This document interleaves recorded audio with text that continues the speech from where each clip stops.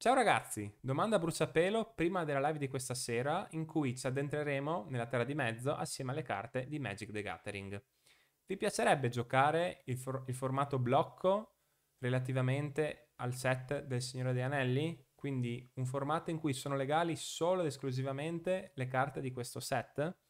Potreste costruire qualcosa di competitivo attorno a Gandalf, attorno alla, alla meccanica dell'anello, attorno a Radagast, attorno a Saruman, attorno a Frodo e, i vari equipaggiamenti, attorno a Tom Bombadil e le varie saghe, visto che comunque ce ne sono parecchi in questo set, e ovviamente attorno al Signore Oscuro.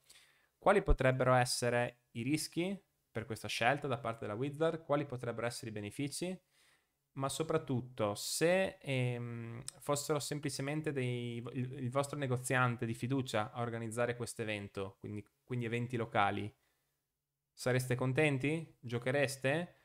Provereste a portare qualche amico vostro, fan del Signore degli Anelli, a giocare questo formato? Diteci la vostra che sono, siamo molto molto curiosi. Ciao!